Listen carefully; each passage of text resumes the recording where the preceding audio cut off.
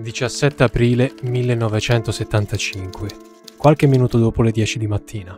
Le Duc To, uno degli uomini di spicco del Partito Comunista Vietnamita, riceve una chiamata. Al telefono c'è Yang Sari, il cosiddetto fratello numero 3 del Partito Comunista di Kampuchea. Abbiamo preso Phnom Penh. Le Duc To quasi non crede alle sue orecchie. Qualche ora più tardi si reca a Phnom Penh di persona. Lì incontra Yang e si congratula con lui. Terminati i convenevoli, però, Le Duc To reclama la propria parte dell'accordo. Così le truppe nord-vietnamite attraversano liberamente il territorio cambogiano per lanciare l'offensiva finale contro il regime filo-americano di Saigon. Quel giorno, il fratello numero uno, Salot Sar, non è a Phnom Penh.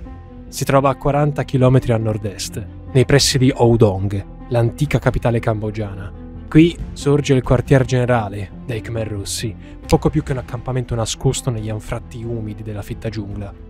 Alle 10 in punto arriva una comunicazione radio. Phnom Penh è stata liberata. Salot non batte ciglio, né esprime gioia. Negli anni si è riferito a se stesso in vari modi. Tuttavia, lo pseudonimo con cui tutti lo conosciamo, anche se non ha alcun significato, è uno soltanto. Pol Pot. Quella che vi racconteremo oggi è una storia che definire distopica sarebbe riduttivo. Il genocidio cambogiano. Non esistono stime precise, ma si ritiene che nell'arco di meno di 5 anni, tra il 75 e il 79, il Partito Comunista di Kampuchea condusse alla morte, direttamente o indirettamente, circa 2 milioni di persone, vale a dire un quarto dell'intera popolazione cambogiana il doppio di quanto avvenuto in Ruanda con il genocidio dei 100 giorni. Ne abbiamo parlato in questo video. Parleremo più avanti di quanto accaduto. Prima di tutto, però, ho una considerazione che voglio far fare al mio collaboratore Jacopo, che mi ha aiutato enormemente per questo documentario. Ebbene sì, il video di oggi riguarderà vicende storiche, dispute internazionali, ideologie abbastanza controverse e coinvolgerà diversi personaggi, tra cui Pol Pot, definito uno dei dittatori più sanguinari di sempre. Seguiremo però una prospettiva ben precisa. Una macchina genocida non è mai responsabilità di un singolo individuo. Sono le contingenze storiche a metterla in moto, assieme alle idee e al male forse insito nell'essere umano. Non possiamo quindi non abbracciare una visione d'insieme della storia cambogiana, che è allo stesso tempo genesi ed eredità dello sterminio. Quando si guarda la penisola indocinese è difficile tracciare dei confini territoriali ben definiti. Nel corso dei secoli l'intera area ha ospitato religioni, culture, lingue sfaccettate e ha visto l'ascesa e la caduta di più autorità politiche. Tra queste spicca sicuramente l'impero Khmer, un regno induista di lingua khmer per l'appunto, che al massimo della propria estensione, attorno al 1100, dominava su tutta l'attuale Cambogia, il suo nucleo principale, nonché vaste aree oggi appartenenti a Vietnam, Laos, Thailandia e Malesia. La più importante eredità fisica dell'impero Khmer è Angkor Wat, il tempio della città, un enorme e caratteristico edificio induista, poi buddista, che non a caso è anche il simbolo dello Stato cambogiano. Tra il XV e il XVI secolo l'autorità dell'impero Khmer fu progressivamente erosa finché nell'Ottocento si ritrovò nella morsa di due entità politiche distinte, il regno siamese di Thonburi a ovest e la dinastia vietnamita Nguyen a est. La dinastia Khmer pativa costanti incursioni e ingiustizie, relegata in una posizione che potremmo definire di vassallaggio. Stanco dei soprusi, attorno al 1850 il sovrano Khmer Ang Duong chiese l'intervento di un re straniero ritenuto particolarmente potente, Napoleone III. Già da qualche decennio la Francia aveva infatti cominciato a mostrare interesse nei confronti di un'area, quella della penisola indocinese, che poteva trasformarsi sia in una fonte diretta di tè, caffè, carbone e caucciù, sia in un trampolino di lancio per ritagliarsi una sfera di influenza in Cina. A Parigi quindi dovettero essere ben contenti quando nel 1863 il figlio di Yang Duong, Norodom Prombarirak, accettò l'istituzione di un protettorato francese sulla Cambogia. Forte di questa concessione, la Francia conquistò diversi territori in Siam, scalzò la dinastia Nguyen e nel 1886 dichiarò la nascita di una nuova colonia. In un contesto simile, l'autorità delle Khmer venne limitata a quella di semplici marionette. Tuttavia, regnanti e alti funzionari cambogiani continuarono a godere delle proprie ricchezze e soprattutto dei legami che avevano instaurato nel tempo. Ecco, la nostra storia inizia nel marzo 1925. Ci troviamo a Prexbauv, un piccolo villaggio di pescatori sito a circa 170 km a nord di Phnom Penh. Nella più grande delle case di regno dell'insediamento, tale Sok Nem, fervente e rispettata buddista, dà alla luce un bambino dalla carnagione lievemente chiara. Lo chiama Sar, letteralmente pallido. Il padre del neonato, Salot Pem, è un contadino che possiede 50 acri di risaie, il che colloca la sua famiglia nelle fasce più agiate della società cambogiana. Salot Pem, a sua volta figlio di un ex lealista antifrancese morto in un'imboscata, è uno di quei legami che il re Norodom Prombarirak ha mantenuto saldi. Difatti, in cambio della concessione di benefici terrieri a Salot Fem, il sovrano richiese che la sorella di quest'ultimo, Cheng, venisse condotta a palazzo. Anche Siso Watmonivong, incoronato re di Cambogia nel luglio 28, continuò questa tradizione, esigendo che una delle figlie di Cheng, Meak, divenisse sua concubina. Ne deriva che la cugina di sangue del neonato Salotsar è una favorita del re. Questo legame diretto con la corte Khmer permette ai genitori di Sar di sfruttare privilegi che spettano unicamente alle classi sociali più ricche e vicine alle autorità coloniali. E non è un caso se innanzitutto nel 34 spediscono il figlio presso il tempio buddista di Wat Botum Vadei. Qui Sar viene iniziato ai precetti del buddismo Theravada, una corrente rigorista e conservatrice, la più antica del buddismo. Impara a scrivere in lingua khmer e si sottopone a una rigida disciplina monastica. Solamente un anno dopo, nell'estate del 35, Salozar viene ammesso all'École Mish, un istituto cattolico di recente fondazione, e non si mostra affatto uno studente profittevole. Certo impara a leggere e parlare il francese, ma otterrà il diploma soltanto nel 43, ormai diciottenne. Complici i suoi legami con la corte, viene subito ammesso all'Istituto Superiore Francese di Kompong Cham. Qui Sar entra in contatto stretto con numerosi suoi coetanei, tra cui Kieu Sampan, che rincontreremo più tardi, e Yang Sari, che abbiamo già avuto modo di conoscere. Uno dei migliori amici di Sar, però, è Lon Non. Non è un personaggio rilevante, ma suo fratello maggiore, Lon Nol, lo è come. Ci arriveremo poi. In questo periodo, comunque, Salutsar vive in una bolla rispetto al cambiamento che invece sta attraversando la Cambogia. Lo scoppio della seconda guerra mondiale e l'assedio di Parigi ad opera della Germania hitleriana nel 40 avevano indebolito la struttura coloniale francese. Difatti nel 41 il vicino Siam, l'attuale Thailandia, strappò alla Cambogia gran parte dei suoi territori nord-occidentali. Poco dopo, re Sisowat Monivong giunse a miglior vita e nel disegnare un nuovo sovrano, il regime collaborazionista di Vichy optò per il nipote del defunto re, un ragazzo appena diciottenne che, pensavano i francesi, sarebbe stato facilmente manovrabile. Il suo nome era Norodom Sihanouk. La necessità di scegliere un monarca accomodante derivava dall'ormai palese insofferenza del popolo cambogiano nei confronti del regime coloniale. Nel 1942 i primi comunisti cambogiani, ispirati dal vicino Vietnam, presero d'assalto le strade di Phnom Penh. Per la prima volta le persone comuni sentirono parlare di una eventuale nazione Khmer libera dal gioco francese. Peccato che nell'arco di qualche mese sarebbero arrivati i giapponesi. Il loro dominio durò all'incirca tre anni, prima che si ritirassero nell'aprile del 45. A quel punto il giovane re Sihanouk diede sfoggio di un inatteso coraggio e dichiarò la nascita di un'effimera, prima e indipendente Repubblica di Kampuchea. La parola Kampuchea deriva dal sanscrito camboiadesa, letteralmente la terra di Camboia, termine con cui le popolazioni dell'India definivano le aree in cui sorse il primo impero Khmer nell'800 d.C.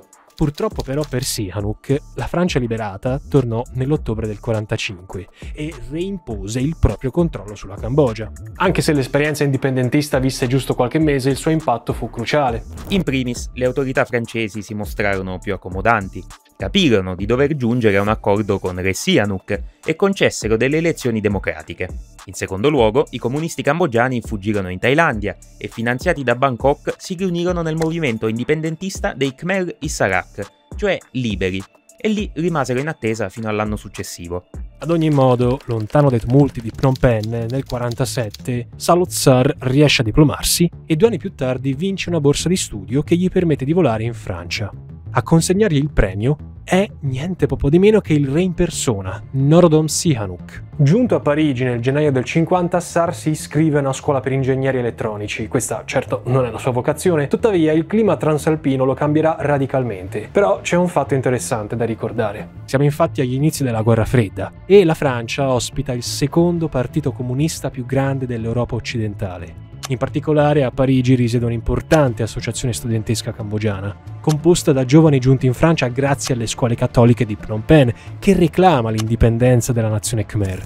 Qui Salotsar comincia a partecipare attivamente ai comizi dell'associazione, rincontra il suo ex compagno di scuola, Yang Sari, e conosce il filosofo e linguista Keng Vansak, figura di riferimento per tutti i cambogiani di Parigi.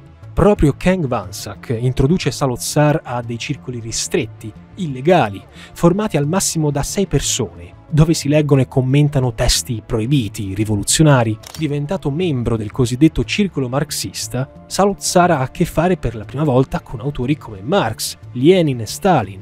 Non li comprende appieno, probabilmente perché in Cambogia, un paese prettamente agricolo, non esiste alcuna classe operaia o borghese. Piuttosto, Sal acquisisce familiarità con un libro in particolare, sulla nuova democrazia di Mao Zedong. Secondo il principio di Mao della nuova democrazia, per raggiungere il comunismo in una società coloniale occorre attraversare due fasi. La prima consiste nell'uniformare tutto il popolo sotto un'unica bandiera contro un nemico comune, l'imperialismo, abbattere i vecchi valori feudali, borghesi, capitalisti. La seconda prevede invece la dittatura del proletariato. È proprio in base a questo principio che Mao criticò l'Unione Sovietica, secondo lui figlia di uno Stato imperialista, non coloniale, e dunque impossibile da uniformare a livello sociale. Infine, dopo aver letto La grande rivoluzione di Peter Koprotkin, Salazar capisce che la rivoluzione deve essere portata avanti senza alcun compromesso, sulla base di un'alleanza tra intellettuali e contadini. Per il momento lasciamo da parte queste informazioni e torniamo in Cambogia. Qui le prime elezioni democratiche del 46 videro emergere un partito democratico in netto disaccordo con Sihanouk. Infatti, il re e la corte Khmer venivano percepiti come complici delle autorità coloniali e per questo andavano rimpiazzati. Da un'altra parte, ad Hanoi, un certo Ho Chi Minh mobilitò un esercito di 28.000 uomini contro le truppe coloniali francesi, dando inizio alla prima fase della guerra d'Indocina, inizialmente limitata al solo Vietnam. All'inizio, politici e rivoluzionari cambogiani non percepirono l'utilità di quella insurrezione. Tuttavia, quando nel 1949 la Francia accorpò la Cambogia al Vietnam per meglio controllare la colonia, i cambogiani ben compresero i risvolti della lotta armata. Ad ottobre, altra tessera del domino che crollò sui francesi, fu proprio Mao Zedong, che proclamò la nascita della Repubblica Popolare Cinese e appoggiò apertamente la causa di Ho Chi Minh. I Khmer Issarak, nascosti nella giungla al confine con la Thailandia, colsero l'occasione e si lanciarono contro le autorità coloniali francesi, dando vita a una durissima campagna militare.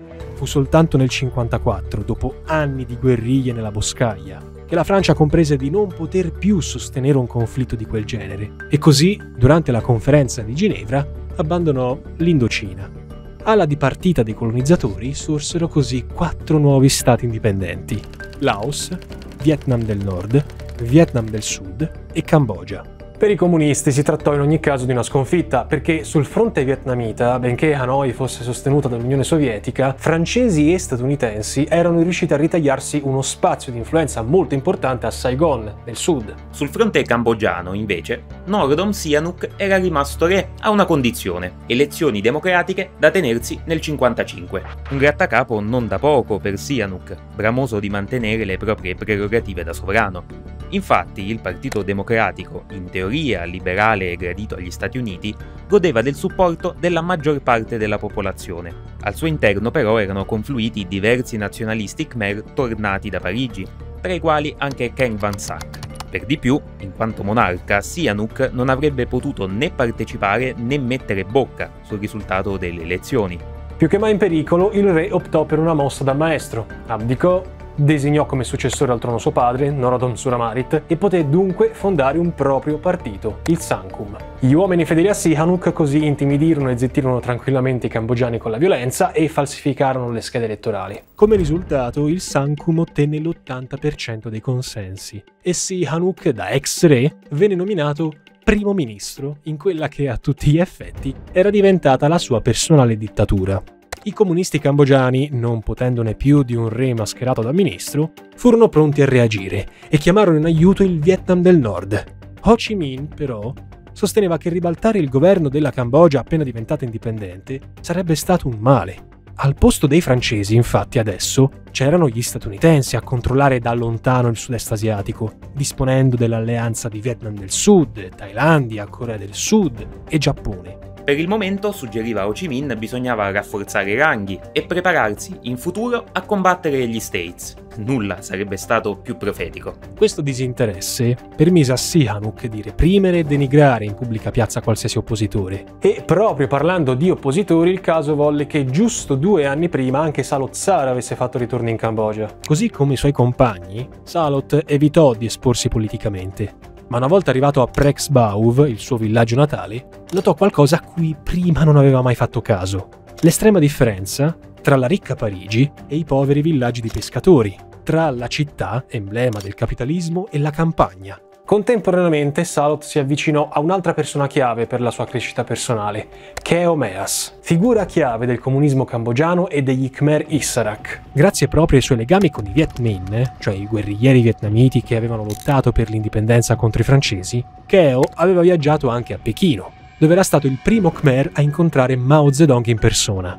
Grazie a Keo, Salotsar si convince che la rivoluzione deve essere portata avanti secondo regole precise e va preparata con dovizia di particolari. Nel 1955 Salotsar affitta così una casa in un distretto meridionale di Phnom Penh e anche se non ha le giuste qualifiche inizia a insegnare storia, geografia e letteratura francese in una scuola privata. Nel 1956 poi sposa tale Kyu Ponnari, figlia di un giudice cambogiano in grado di metterlo in contatto con due individui quantomeno interessanti. Uno è un predicatore buddista, Ton Samut. L'altro è un ex membro del Partito Comunista Thailandese, Nuon Chea. Insieme a Ton e Nuon, Salot comincia a discutere di come ribaltare il tiranno Sihanouk e salvare la Cambogia. I tre si riuniscono inizialmente nelle proprie case, spargono la voce e attraggono persone interessate ai loro discorsi. Nel 59, infine, nel capannone di una stazione ferroviaria, nulla di così grandioso, il piccolo movimento dà vita a una nuova formazione politica, il Partito Comunista di Campuchea. L'obiettivo è quello di raggiungere la pace, con mezzi che sono tutt'altro che pacifici. Il partito accoglie ormai qualche migliaio di membri e tra il settembre e l'ottobre del 60 tiene una serie di conferenze a Phnom Penh in cui ribadisce la necessità di stringere un'alleanza con i Viet Minh, unico baluardo comunista dell'Indocina. La notizia però chiaramente giunge repentina alle orecchie di Sihanouk, che ovviamente bandisce l'organizzazione e fa di tutto per stroncarla. Quello era un periodo storico molto delicato per Sihanouk. Nel 59, infatti, un tentato colpo di Stato gli aveva fatto credere di essere oggetto delle trame della CIA. Benché la realtà dietro al cosiddetto complotto di Bangkok sia ancora un mistero, tanto bastò per epurare diversi suoi fedeli. Nel 62, sempre più paranoico e meno interessato a una qualche parvenza di legittimità, Sihanouk destituì suo padre dalla carica di re, modificò la Costituzione e si autoproclamò capo di Stato a vita. Mi dispiace, ma io so io. E voi non siete un capo. Poco dopo, stanco delle continue opposizioni al suo potere, Sihanouk decise di distruggere definitivamente gli oppositori comunisti. Don Samut fu catturato, torturato e ucciso, Nuon Chea invece fuggì. A guidare i Khmer rivoluzionari era quindi rimasto il solo Salut. Tuttavia non dobbiamo dimenticarci di un fatto importante. In quel preciso frangente, mentre tutto questo accadeva, a est della Cambogia, il regime comunista di Hanoi, nel Vietnam del Nord, si trovava impegnato in una guerra di liberazione contro il governo filo-occidentale del Vietnam del Sud. A questo scopo, i comunisti nord-vietnamiti si erano dotati di una nuova milizia, i Viet Cong, che stazionava ai confini del Vietnam del Sud. E così, nella vicina Cambogia, in fuga proprio dalla repressione di Sihanouk, Salot Sar e il compagno Yang Nari ritennero saggio raggiungere uno degli accampamenti Viet Cong sulle rive del fiume Mekong. Vedendo incrementare le proprie fila, Salot, Yang Sari e Nuon Chea capirono di potersi organizzare per rappresentare una vera e propria sfida al governo centrale cambogiano però, prima di tutto, per far ciò, andavano chiariti i rapporti con il Vietnam del Nord, perché, come detto, Hanoi stava già combattendo una guerra dal 55, quella del Vietnam, che nel 64 aveva visto la discesa in campo proprio degli Stati Uniti. Ora, nella verità dei fatti, il partito comunista nord-vietnamita non voleva affatto che il governo di Sihanouk cadesse, semplicemente perché una Cambogia instabile avrebbe significato l'apertura di un ulteriore fronte di guerra e potenzialmente un accerchiamento. L'aiuto di Hanoi per i progetti dei comunisti cambogiani era dunque escluso. Così nel 65 Salot e Keomeas, il primo Khmer a incontrare Mao, viaggiarono fino a Pechino e chiesero consiglio alla Cina. Lì i funzionari della Repubblica Popolare si mostrarono pronti a sostenere un'eventuale rivoluzione cambogiana e offrirono addirittura il supporto materiale. Salot, tuttavia, anche per divergenze ideologiche, rifiutò l'accordo cinese. Chiamatela megalomania o schizofrenia, ma Salot si rese conto di non voler vincolare il successo della missione a una nazione terza. Non voleva essere debitore dell'aiuto altrui per riunire tutta la Cambogia sotto il segno di Angkor Wat, il simbolo dell'antica gloria imperiale. Nell'ottobre del 66, con ormai circa 5.000 insorti tra le proprie fila, si assistette comunque alla nascita del Partito Comunista di Kampuchea. I suoi membri avrebbero combattuto con o senza l'appoggio di Hanoi e Pechino, indipendentemente da come la pensassero vietnamiti e cinesi.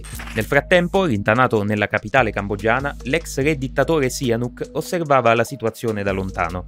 Non si aspettava affatto che una milizia che contava qualche migliaio di persone provenienti dalla giungla potesse rappresentare un pericolo.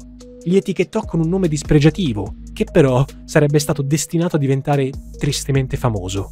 Khmer Rouge. I Khmer Rossi. Quella che sembrava però una piccola palla di neve finì con l'ingigantirsi molto presto. Il 18 gennaio 68 il Partito Comunista di Kampuchea lanciò la propria offensiva a sud di Battambang, nell'ovest del paese. Sihanouk rispose prontamente richiamando al governo un suo fidato amico, un politico di destra che era stato già primo ministro e che era noto per la propria violenza spietata. Lon Nol. Esatto, il fratello dell'ex migliore amico di Salozar. Il mondo è proprio piccolo. Sotto il comando di Lon Nol, l'esercito cambogiano bombardò a tappeto l'est del paese e uccise sommariamente centinaia di persone nei villaggi, in cerca dei ribelli comunisti.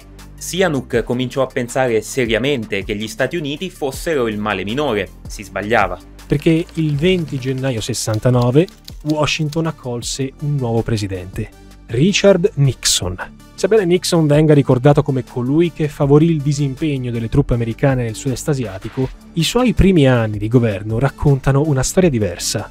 Ansiosi di porre fine con la forza al conflitto in Vietnam, Nixon e il suo entourage, tra cui il ben noto Kissinger, optarono per estendere i bombardamenti dei B-52 anche a due paesi che formalmente non erano in guerra, Laos, di cui abbiamo parlato in questo video, e per l'appunto Cambogia per distruggere le vie di rifornimento dei Viet Cong.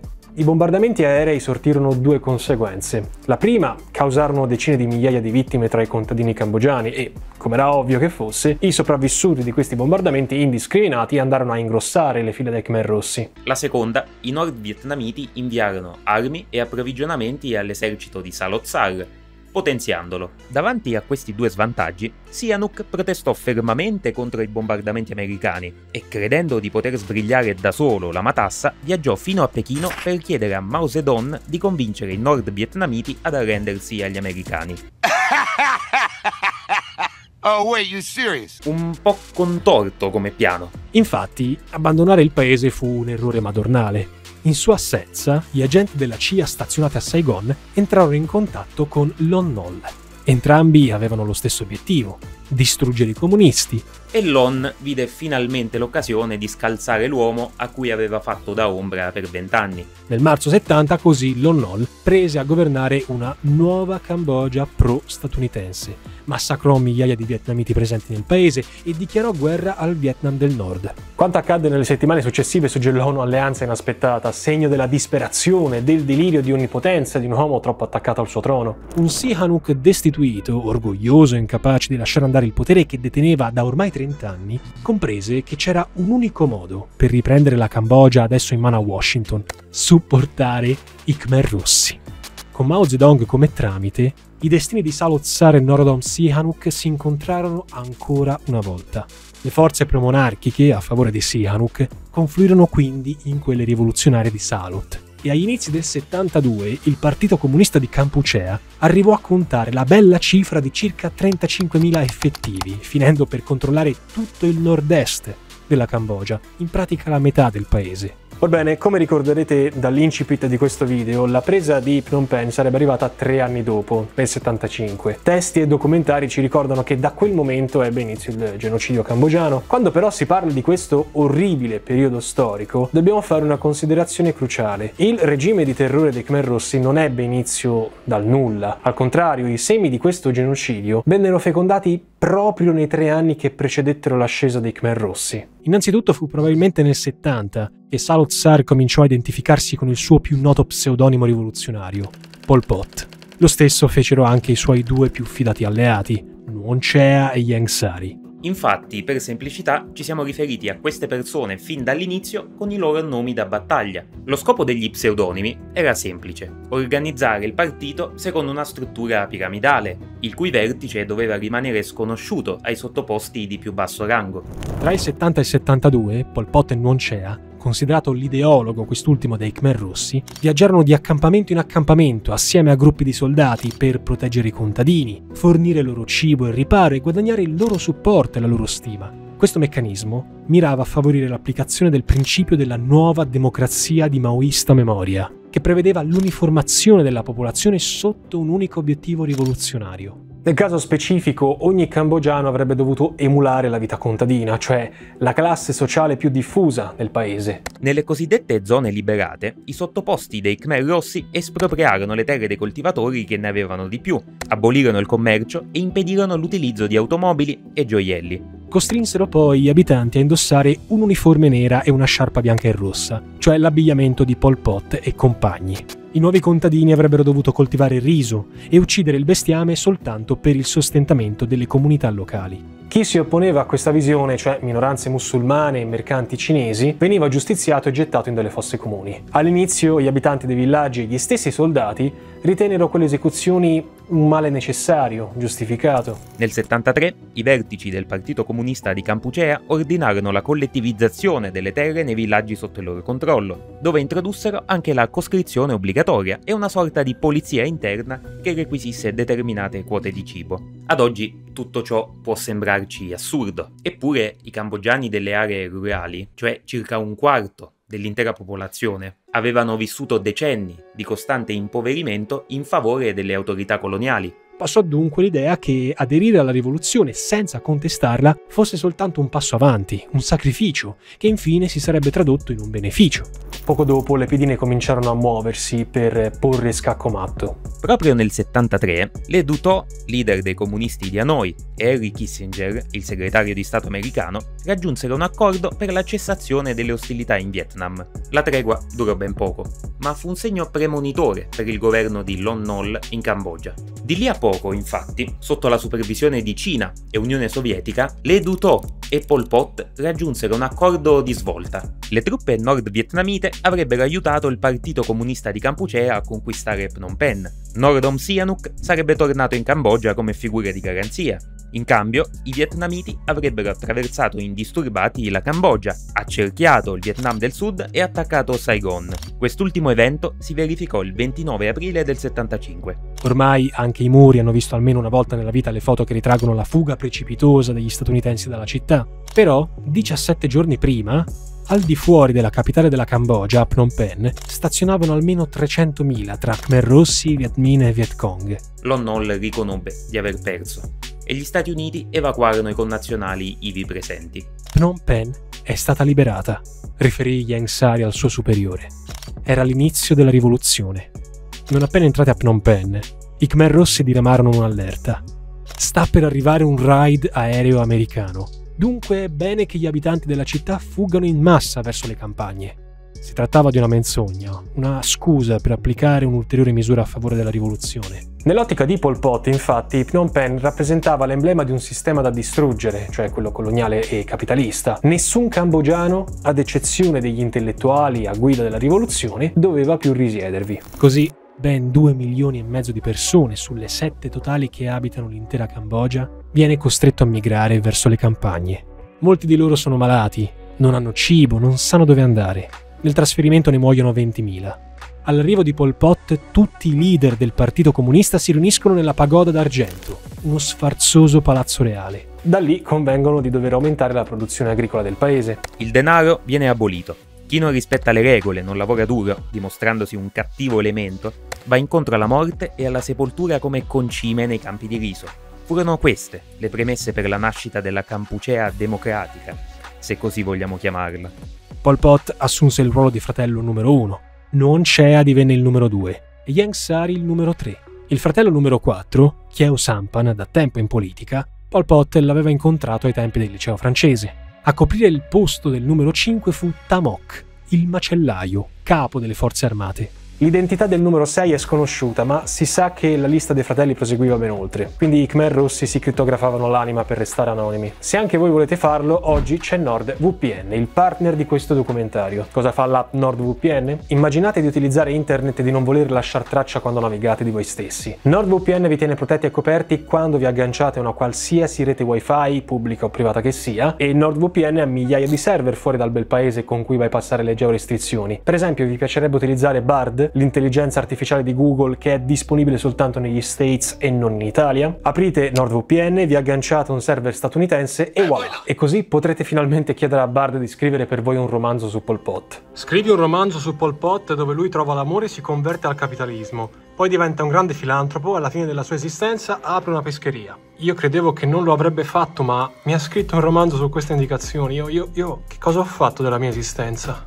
Già, che vogliate navigare senza tracker, guardare un documentario non disponibile in Italia o prepararvi per il premio Strega con il vostro romanzo Pol Pot il pescatore filantropo, NordVPN è la soluzione per voi. Una navigazione libera da ostacoli e con una connessione VPN sempre veloce e stabile. L'offerta è valida per un tempo limitato, è più speciale della pescheria di Pol Pot e vi basterà cliccare sul link in descrizione. Però, tornando alla lista sconosciuta, abbiamo detto che i fratelli non erano soltanto sei. Difatti, Son Sen, il ragno dietro la tela dei servizi segreti cambogiani, veniva riconosciuto come fratello numero 89. Al di là delle reminiscenze orwelliane o dall'Oggia P2, anche questa denominazione serviva a nascondere il più possibile l'identità dei leader comunisti. Infatti, pochissimi sapevano che Pol Pot fosse il capo. Riguardo alla forma di governo, la Campuchea democratica era governata da un presidium che fungeva da capo di Stato, da un Parlamento e da un primo ministro. Quest'ultimo incarico spettò a Pol Pot, che inizialmente fu costretto ad affidare il presidium a una persona a cui ormai aveva allegato la sua vita.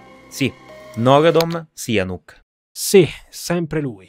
Occorreva infatti dimostrare alla comunità internazionale, legacy Stati Uniti, che il nuovo governo della Cambogia non avrebbe rappresentato alcun pericolo e che avrebbe invece seguito la saggia guida di un abile statista come Sihanouk. Beh, se lui era saggio, io sono John Cena. Non fu certo un caso che, quando lo stesso Sihanouk si dimise dalla sua carica nella speranza di fuggire nuovamente, i Khmer Rossi ben pensarono di confinarlo agli arresti domiciliari, servito e riverito come un re, per evitare che fomentasse nuove rivolte e sostituirlo con Kyu Sanfan, il fratello numero 4. A pensarci, quella che toccò a Sihanouk fu forse la sorte migliore tra tutti gli oppositori del regime. Anzitutto i Khmer Rossi presero a indottrinare o in caso di fallimento eliminare fisicamente i monaci buddisti. Difatti, lo stesso Pol Pot, educato da monaco in tenera età, temeva la religione come oppio dei popoli e veicolo di rivolta, riteneva che il buddismo Theravada, conservatore, risultasse dannoso per la sua nuova democrazia, tra virgolette, in quanto motivo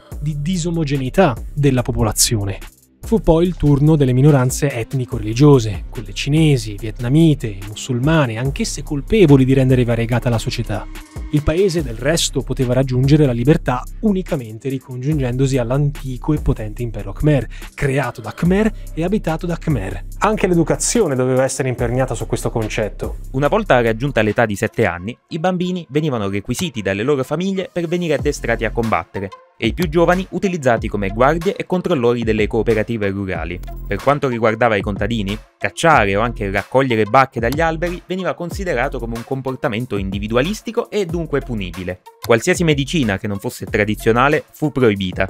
Tuttavia il cibo cominciò a scarseggiare sin da subito in tre quarti dell'intero paese e la malaria imperversò tra le fasce più deboli della popolazione. Naturalmente ai vertici del Partito Comunista, cioè gli intellettuali a guida della rivoluzione, era consentito mangiare qualcosa di diverso dal riso concimato con carne umana. Potevano pure curarsi all'estero, tant'è che Pol Pot si recò più volte a Pechino per tenere sotto controllo un tumore al pancreas. Considerate comunque che non tutti all'interno del Partito Comunista approvavano la modalità della rivoluzione. In migliaia, tra disertori e semplici fuggitivi, trovarono riparo in Thailandia o in Vietnam del Nord. E conscio di questa realtà e credendo però di essere soggetto a un complotto, Pol Pot ordinò ancora e ancora delle epurazioni di massa. Non solo, istituì per tutto il territorio cambogiano circa 150 prigioni allo scopo di far confessare e redimere i traditori del partito.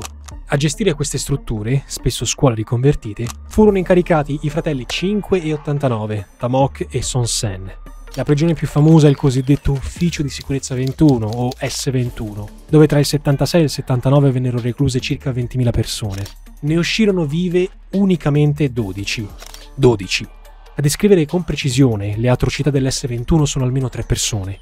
Dit Pran, internato in quanto giornalista, Ban Nat, il cosiddetto pittore dei Khmer Rossi, vivo soltanto grazie alla sua abilità di disegnare dei ritratti di Pol Pot, e Kang Kiev, il direttore stesso dell'S-21.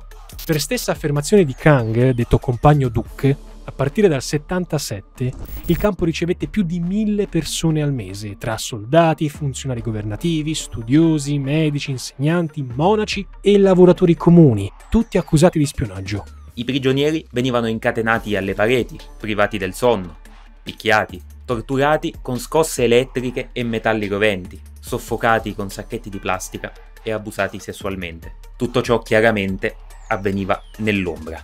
Tuttavia, già dal 75, al momento della loro ritirata, gli Stati Uniti non avevano disdegnato di sostenere qualsiasi forza politica che fosse in grado di indebolire l'ormai vittorioso governo comunista in Vietnam. All'epoca lo stesso Kissinger ammise dinanzi al ministro degli esteri thailandese Chachitai che un avvicinamento con i Khmer Rossi fosse il male minore addirittura rispetto al Vietnam. Sono delinquenti assassini, disse Kissinger, ma non lasceremo che questo ci ostacoli siamo pronti a migliorare le relazioni con loro. Faccio i miei auguri più sinceri a Kissinger per aver compiuto 100 anni pochi giorni fa. Lo stesso ex consigliere per la sicurezza nazionale americana, Brzezinski, dichiarò nel 79 di aver suggerito alla Cina di supportare Pol Pot in funzione anti-vietnamita, pur essendo lui stesso a conoscenza delle nefandezze commesse dal numero uno cambogiano. Pol Pot era un abominio, disse Brzezinski, ma noi, noi strizzammo l'occhio ai cinesi, noi non avremmo mai potuto sostenerlo. Ma la Cina e la Thailandia? Sì. Dal canto suo la Cina all'epoca non aveva molta scelta. Era da poco uscita dalla disastrosa rivoluzione culturale maoista e gli aiuti finanziari degli States facevano molto comodo, anche per far fronte alla minaccia russa a nord. Russia che, lo ricordiamo, era alleato chiave per il Vietnam e quindi benché quanto stava accadendo al suo interno fosse un segreto di Pulcinella, la Campucea era nei fatti un regime isolato dal resto del mondo. Gli unici due capi di Stato stranieri accolti nel paese furono il dittatore birmano Ne Win e il leader comunista rumeno Nicolae Ceausescu. Il fratello numero uno pensò sempre di star procedendo sulla retta via, benché nel 75 lo stesso Mao Zedong, ormai in fin di vita e di certo non un santuomo, gli avesse suggerito di non applicare misure così tanto drastiche. Di tutta risposta, Pol Pot affermò che lo stendardo della rivoluzione cinese è rimasto issato per molto tempo, ma ora è sbiadito, vacilla. Convinto anche della necessità di rendere la Cambogia indipendente da chiunque, Pol Pot allontanò tutti e tre i potenziali alleati di cui avrebbe disposto, cioè Unione Sovietica, Repubblica Popolare Cinese e Vietnam ora unificato. Mentre i primi due, pure in contrasto ideologico, fungevano da eminenze grigie, il Vietnam venne indicato come un regime imperialista, la realtà è che dopo la presa di Phnom Penh, i Khmer Rossi non avevano definito confini chiari per la Campuchea democratica e Hanoi avrebbe voluto ottenere il possesso delle sponde del fiume Mekong, un fiume che ancora oggi è una preziosa risorsa idrica per entrambe le nazioni. Migliaia di Viet Minh stazionavano infatti nella giungla, pericolosamente vicini alla capitale cambogiana e nel nord-est del paese. E così, ansioso di cercare un capro espiatorio per non far eh, risaltare il fallimento del proprio esperimento rivoluzionario, alla fine del 77 il fratello numero uno ordinò all'esercito Khmer di compiere il raid nella giungla e assaltare gli accampamenti vietnamiti. Negli ultimi sei mesi del 78, Son Sen ordinò l'esecuzione sommaria di circa 100.000 persone nella Cambogia orientale, tra cui un imprecisato numero di vietnamiti. Tamok, il macellaio, ne fece uccidere più del doppio, giusto per rispetto al proprio soprannome. L'escalation fu rapida, dettata dalla fretta, dalla paranoia e dunque dalla mancanza di raziocinio. il 25 dicembre del 78 il Politburo vietnamita rispose con la forza e lanciò un'invasione su larga scala della Cambogia. In sole due settimane 150.000 soldati vietnamiti conquistarono Phnom Penh e posero fine al folle progetto di Pol Pot.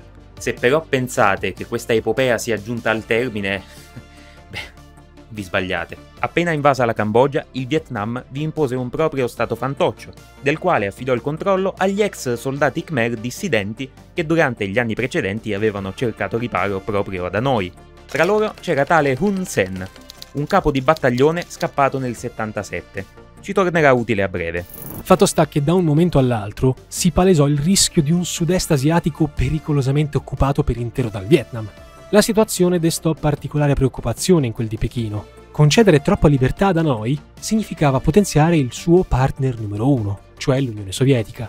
Così nel febbraio del 79 Deng Xiaoping ordinò l'invasione del nord del Vietnam ne scaturì un conflitto che durò appena un mese. Eppure fu una mano dal cielo per i Khmer Rossi che, con minor pressione addosso, poterono riorganizzarsi nell'ovest della Cambogia. Ora, so che quanto sto per dirvi potrà sembrare controintuitivo, ma ricordate di ragionare in ottica di mero opportunismo. L'invasione vietnamita permise al mondo di venire a conoscenza delle atrocità commesse dal regime di Pol Pot.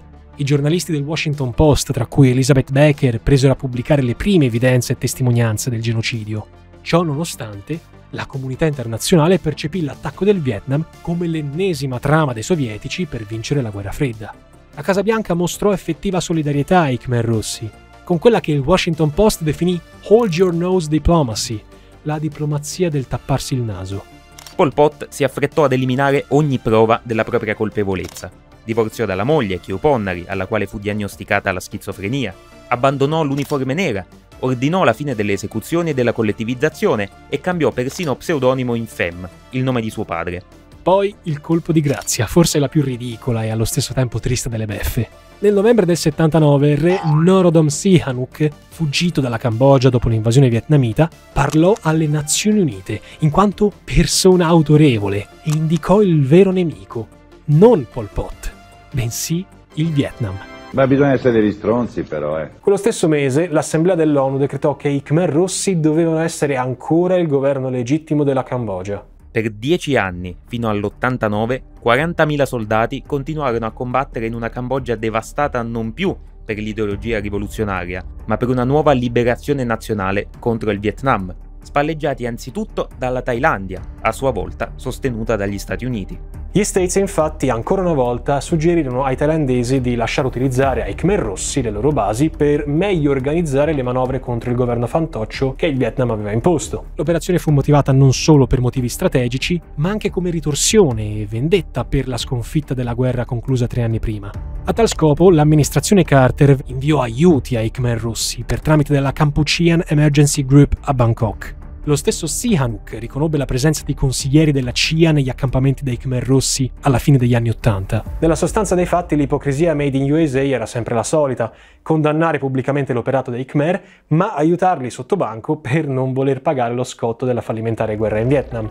Il supporto logistico incancrenì più del dovuto il conflitto in Cambogia, prolungandolo più di quanto fosse necessario. Nell'85 Pol Pot si dimise da comandante in capo delle forze Khmer, allontanandosi sempre più dalla vita politica. Lo fece sicuramente per ripulirsi e non essere associato allo sterminio di innocenti. Ciò nonostante, la mezzanotte del fratello numero uno tardò a scoccare con la caduta del muro di Berlino, anche il Vietnam, conscio di non poter più godere del supporto dell'URSS, mollò la presa sulla Cambogia e concordò un cessate il fuoco con i Khmer Rossi.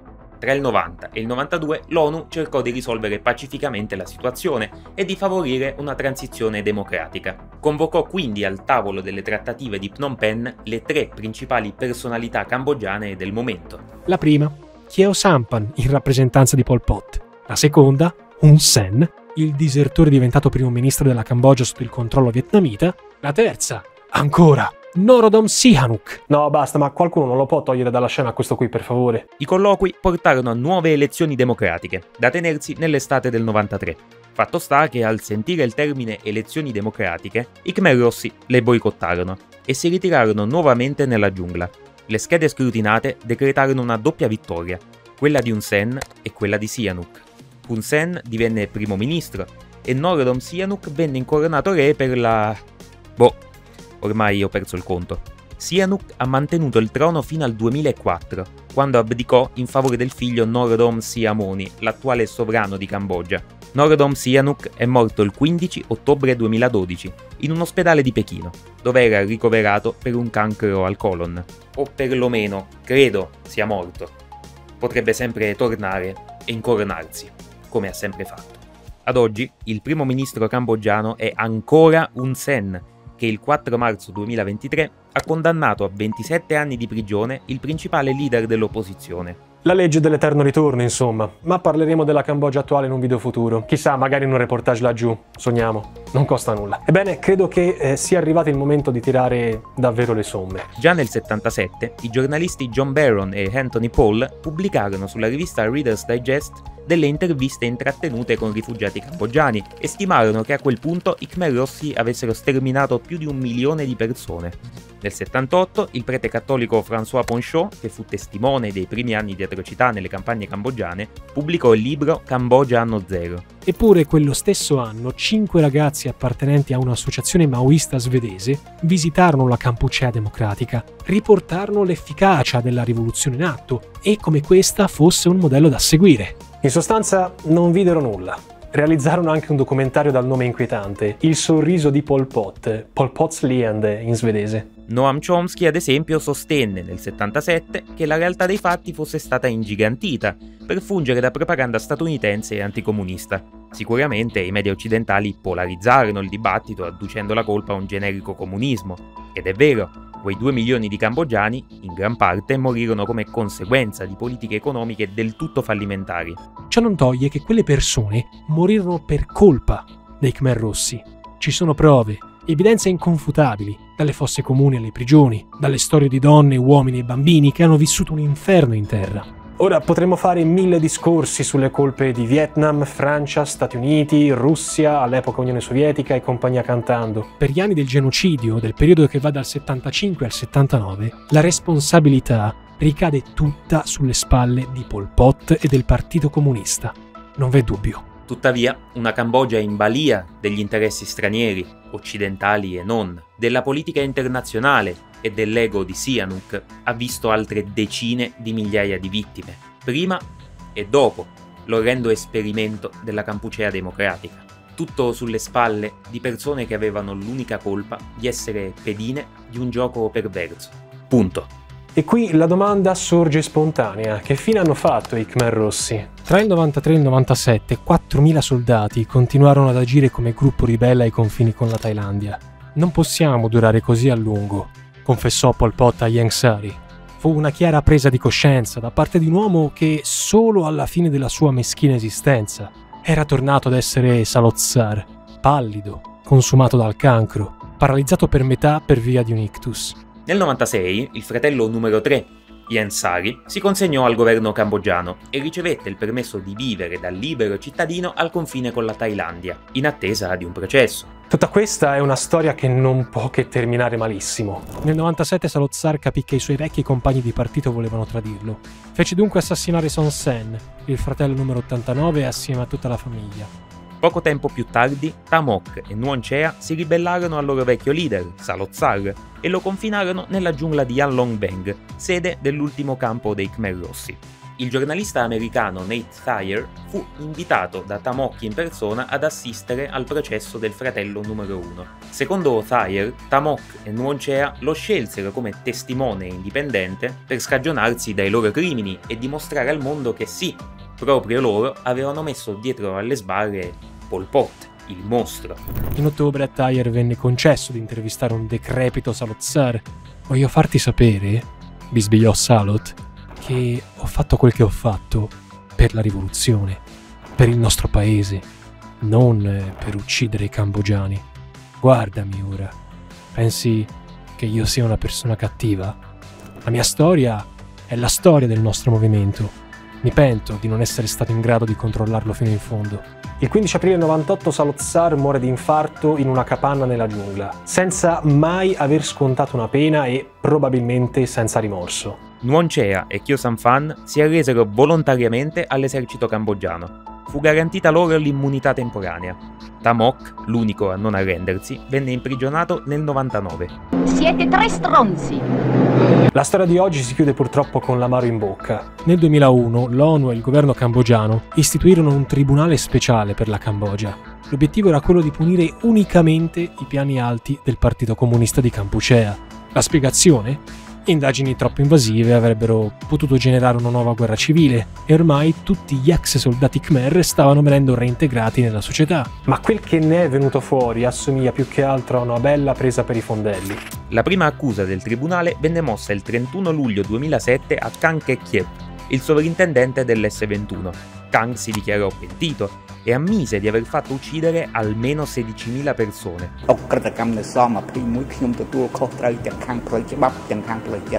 Più avanti però riferì di aver agito sotto pressione di un partito criminale e chiese di venire rilasciato. La condanna definitiva è arrivata unicamente nel 2018. Kang è morto tre anni fa il 2 settembre 2020. Yang Sari, Nuon Chea e Kyo Sampan sono stati arrestati nel novembre 2007. Fino a quel momento hanno vissuto in lussuose ville circondate da filo spinato. Yang Sari è stato incriminato di genocidio nel 2009 è però morto il 14 marzo 2013, prima che la corte emettesse un verdetto. Nuon Chea e Kyo Sampan sono stati gli ultimi leader dei Khmer Rossi a essere stati condannati per sterminio e crimini contro l'umanità. Nel 2018. Nuon Chea è morto un anno dopo, nel 2019, alla veneranda età di 93 anni. Kyo Sampan è invece ricorso in appello. La sua sentenza è stata confermata il 22 settembre 2022 si tratta dell'ultimo capo dei Khmer Rossi ancora in vita. Con un costo totale di 330 milioni di dollari, il Tribunale Speciale per la Cambogia sta per chiudere i battenti, avendo emesso unicamente tre condanne, il potere dell'omertà e dell'ostruzionismo. Ovviamente si tratta di un argomento difficile da districare. Come si giudica qualcuno che ha agito per evitare di subire ripercussioni, sia per se stesso che per la propria famiglia? L'eredità del genocidio è ancora vivida tra i cambogiani, Scuole e centri di informazione sono stati autorizzati soltanto da una decina di anni a parlarne apertamente. Alcuni centri di detenzione sono stati trasformati in musei, come l'S-21. Il corpo di Pol Pot, cremato e sepolto nel villaggio di Chao Am Sangam. Persone del posto, ma anche provenienti dal resto della Cambogia, percepiscono incredibilmente questo luogo come un santuario. Vi offrono cibo. Sono convinte che lo spirito di Pol Pot sia in grado di curare la malaria e in generale di portare fortuna. In fin dei conti, ritengono, il fratello numero uno si è sempre schierato a favore dei contadini.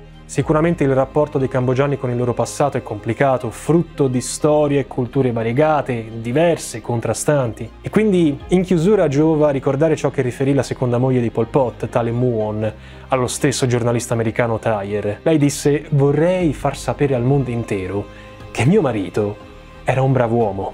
Ecco, io forse dissentirei sul bravo, ma sicuramente Salozzar era un uomo, non il diavolo, né tantomeno un dio. E questo penso sia ancora peggio, sapere che a capo di tutto questo sistema vi era un uomo, e intorno a lui tanti altri piccoli seguaci. Il male, come ricorda Anna Arendt, è banale. È la mancanza di idee a far sì che si propaghi, ma è anche la presenza delle stesse a generarlo. Per aspera piccolo commento post produzione a fine video dopo essermi sparato 55 minuti di editing della Cambogia aver sognato i cambogiani pure di notte pretendo pretendo di essere incoronato nuovo re di Cambogia dopo Sihanouk. Me lo dovete